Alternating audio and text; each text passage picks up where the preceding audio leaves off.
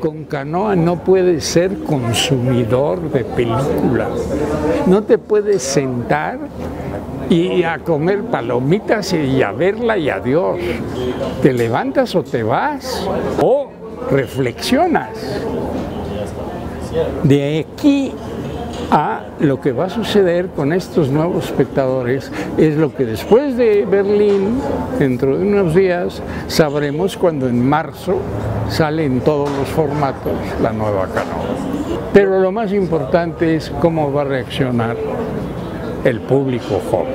Porque yo supongo que el público joven latinoamericano y mexicano es hoy mucho más exigente y no es como el público joven de los 80 que todavía tenía el impacto del 68 encima.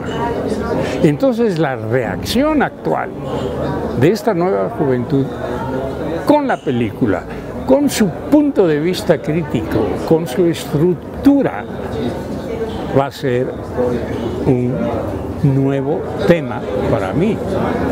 Igual vuelven al tema de la cohabitación de la corrupción entre la fe y la administración, entre la barbarie y la, y la injusticia. En fin, la película me permite hoy esperar